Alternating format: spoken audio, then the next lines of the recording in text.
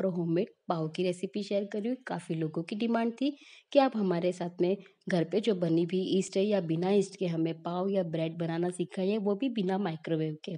तो उसी को लेकर आज मैं आपके साथ में ये वीडियो शेयर कर रही हूँ। ये हमने होममेड खमीर बनाई थी। इसके पहले वाले वीडियो मैंने रेसिपी शेयर करी है। आप जाके चेक कर सकते हैं। मेरे डिस्क्रिप्शन बॉक्स में मैं आपको लिंक शेयर कर दूँगी। इसी होममेड खमीर से आज हम पाव और ब्रेड की रेसिपी बताऊँगी मैं आपको।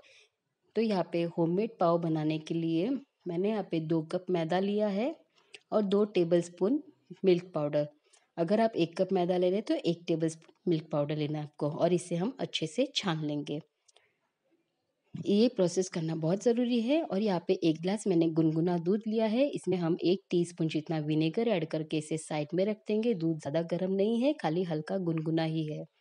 और मैदे के अंदर इस तरह से हम गड्ढा बना के इसमें हम ये खमीर जो हमने घर पे बनाई है, उसे ऐड करेंगे। काफ़ी सारे लोगों के क्वेश्चन थे कि हमें कितनी क्वांटिटी में खमीर यूज़ करना है। तो दोस्तों, एक कप मैदे के अंदर हमें वन फोर्थ कप और वन फोर्थ का हाफ़ कप खमीर यूज़ करना है। यहाँ पे मैंने दो कप मैदा लिया है तो दो कप मैदे के अंदर मैंने वन फोर्थ कप के तीन कप पूरे भर के खमीर का यूज़ किया है। और मैं आपको डिस्क्रिप्शन बॉक्स में दूँगी, आप चेक कर सकते हैं। और यहाँ पे मैंने वन टेबल स्पून इसमें ऑयल डाल दिया है और थोड़ा थोड़ा दूध इसमें हम ऐड करेंगे, जो हमने साइड में रखा था विनेगर डाल के। और इसका हम थोड़ा सा नरम आटा लगा लेंगे। यहाँ पे मेरे को कम से कम इसमें आधे से ज़्यादा दूध का इस्तेमाल हो गया, आध गिलास से ज़्यादा। और ये जो बाकी का दूध बचा है, इसे हम रोटी या पराठे में यूज़ कर लेंगे। इसे फेंकेंगे नहीं। तो ये हमारा आटा तैयार है और इसे अब हम अच्छे से मैश कर लेंगे, नहीं मिला, मसल लेंगे इसे एकदम। इस तरह से हम इस पर थोड़ा प्लेटफॉर्म पे ऑयल स्प्रेड करेंगे और इसे इस तरह से हमें हाथ से फैलाते हुए इसे काफ़ी अच्छा मसलना है। आप इसे जितना नीड करेंगे ना, उतना ही आपका यानी पाव और ब्रेड बहुत ही अच्छे बनेंगे। तो ये वाला स्टेप भी बहुत ज़रूरी है पाव और ब्रेड बनाने के लिए। इसी पे डिपेंड करता है कि आपके पाव कितने अच्छे बन सकते हैं। अगर आप ये स्टेप अच्छे से नहीं करेंगे तो आपके पाव और ब्रेड अच्छे नहीं बनेंगे। तो ये स्टेप प्लीज़ अच्छे से फॉलो कीजिए। तो आपका ब्रेड और पाव हंड्रेड परसेंट श्योर बहुत ही अच्छे बनेंगे। तो ये खमीर जो हमने यानी बनाई है इससे आप नान, जलेबी, पाव ब्रेड बहुत सारी चीज़ें बना सकते हैं। तो 10 मिनट के बाद ये आटा एकदम अच्छे से नीड हो चुका है तो इसका अब हम बड़ा सा गोला बना लेंगे। और इसे हम जब तक ये पूरी तरह से फॉर्मेट नहीं हो जाए, यानी पूरा अच्छी तरह से डबल नहीं हो जाए फूल के, तब तक इसे हम कोई गर्म प्लेस पे ढक्कन लगाकर अच्छे से रख देंगे। तो इस पर हल्का सा ऊपर से ऑयल लगा के इसे मैंने क्लीन पेपर फ़ूड रैप वाला जो पेपर आता है, उससे एकदम अच्छे से मैंने पैक करके रख दिया है। और छः घंटे के बाद ये हमारा आटा एकदम अच्छे से डबल हुआ है, आप देख सकते हैं। अब इसे हम हल्के हल्के हाथ से तीन से चार मिनट तक और अच्छे से मसल लेंगे, यानी नीड कर लेंगे। उसके बाद इसे हम तीन, चार, इसके चार हम बड़े बड़े गोले बनाएँगे, जिससे कि हम लादी पाव बनाएँगे।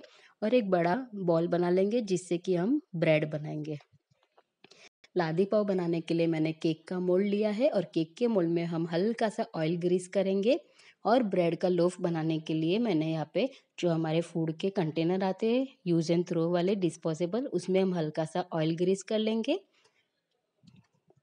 और लादी पाव बनाने के लिए यहाँ पे हम चार बॉल बनाएँगे। अच्छे से बिना क्रैक के हमें बॉल तैयार करने हैं। अगर क्रैक रहेंगे तो आपके पाव में क्रैक दिखेंगे, पाव की फिनिशिंग अच्छी नहीं दिखेगी तो इस बात का आप ज़रूर ध्यान रखिए।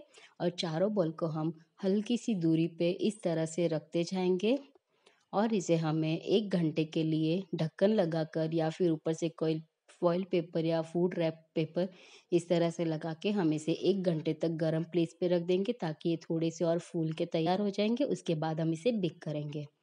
और ये जो बाकी का आटा बचा है, उसका हम ब्रेड बनाएँगे, यानी लोफ ब्रेड।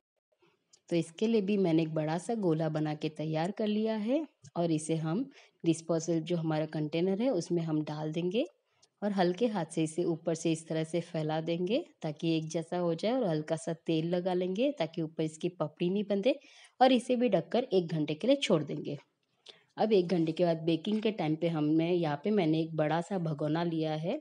अगर आप चाहे तो इसे कुकर या कढ़ाई में सेम प्रोसेस से बना सकते हैं।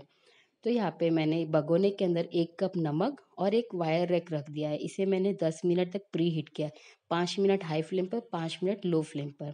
और जब बेकिंग करना होता है, तब इसमें हम ऊपर से मिल्क वॉश करते हैं। मिल्क वॉश यानी हल्का सा जो दूध होता है, उसे हम कॉटन या ब्रश की सहायता से ऊपर के पार्ट पे लगाते हैं, ताकि ऊपर का जो पार्ट है, वो हमारा ब्राउन हो जाए एकदम अच्छे से। और इसे हम पाँच मिनट तक मीडियम फ्लेम पे और उसके बाद पचास मिनट तक, यानी पूरे पचास मिनट हम इसे लो फ्लेम पर बेक करेंगे। यानी टोटल फिफ्टी फाइव मिनट इसे हम बेक करेंगे। फिफ्टी फाइव मिनट के बाद इसे आप चेक कर सकते हैं। ये हमारा ब्रेड एकदम अच्छे से बन के तैयार हो गया है।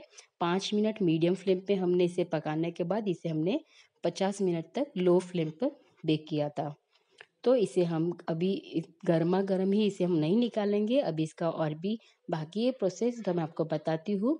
ये जब हल्का सा गर्म रहता है ना, जब हम इसे बाहर निकालते गरम गरम के ऊपर ही हम इस पर हल्का सा बटर स्प्रेड करेंगे, ताकि इससे शाइनिंग अच्छी है और ऊपर का जो पार्ट है वो भी हमारा सॉफ्ट हो जाए। और आधे घंटे के लिए हम इस पर कोई इस तरह से एक कपड़ा गीला करके उसे अच्छे से निचोड़ के, पाव के ऊपर आप इस तरह से ढक दीजिए तो ऊपर वाला जो पोर्शन है वो एकदम सॉफ्ट हो जाएगा।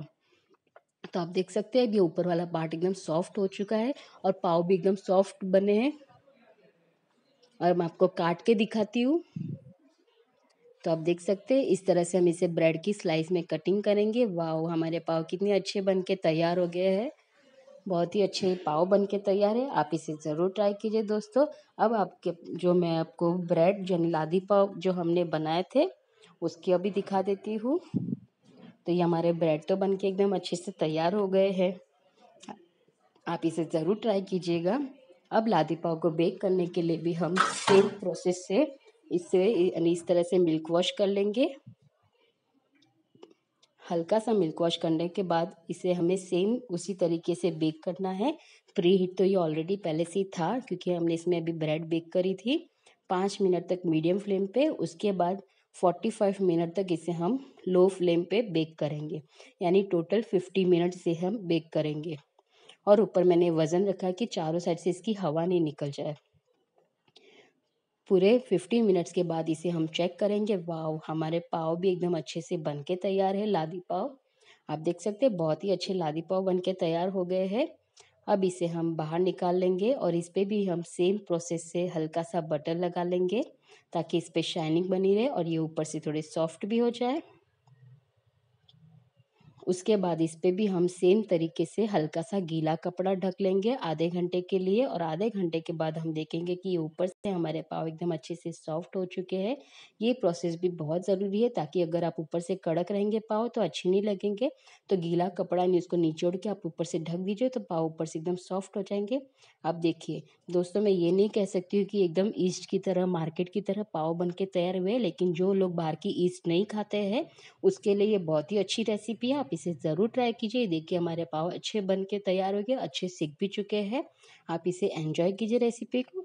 अगर आपको पसंद आए तो प्लीज़ मुझे कमेंट करके बताएगा मैं आपके साथ में और भी अच्छी अच्छी रेसिपी शेयर करती रहेगी जिसकी आपको ज़रूरत हो अभी लॉकडाउन के चलते हुए। तो दोस्तों, मिलते हैं हम अपने अगले वीडियो में। तब तक के लिए बाय बाय दोस्तों, टेक केयर। और इसी तरह की रेसिपीज़ आपके साथ में मैं शेयर करती रहूँगी, इजी वे में।